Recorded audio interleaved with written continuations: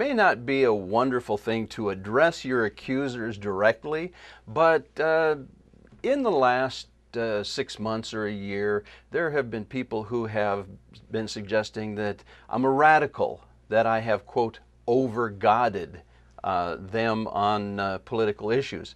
And I'm just struck by the lunacy of those accusations because when it comes to important issues in life, isn't it significant? Isn't it important that we address those things with passion? Let's take, for instance, the uh, precious lives of unborn children. In America, we kill 3,000 children every day. In South Dakota, that number is 11 children. Before they even take their first breath, we kill them in South Dakota. It's called abortion, and it takes place every single week in this state.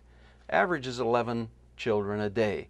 The question that I would ask is what are our, quote, pro life friends in and out of public office doing about it? Well, I want to challenge Governor Daugaard directly. He was concerned about Mount Rushmore being closed, concerned enough that he called uh, on private citizens to step up and write checks. And uh, I think that's a wonderful thing.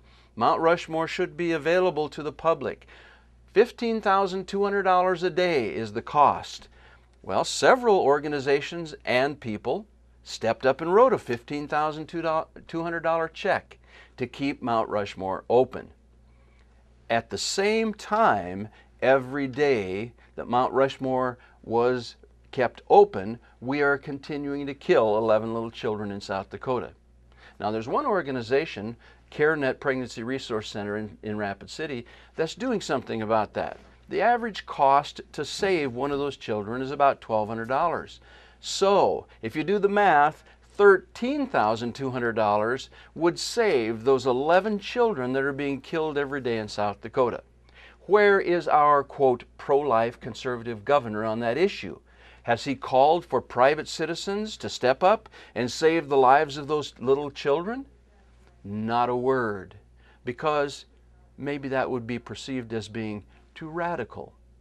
Well, I'm saying it's time for us to become radical. Let's be passionate about the things that concern us. And the unborn children who are being killed every day in our country, 11 in South Dakota every day. Isn't it time that we got a little bit radical about that? And isn't it time for politicians like John Thune, who's a, a conservative, self proclaimed uh, conservative, Republican, Dennis Daugaard, who describes himself as a conservative Christian uh, politician, and Kristi Noem, who's a conservative Christian. Isn't it time for those leaders and others to step up and do something to save the lives of these little children? I think that would be, uh, well, let's not call it radical, let's call it refreshing.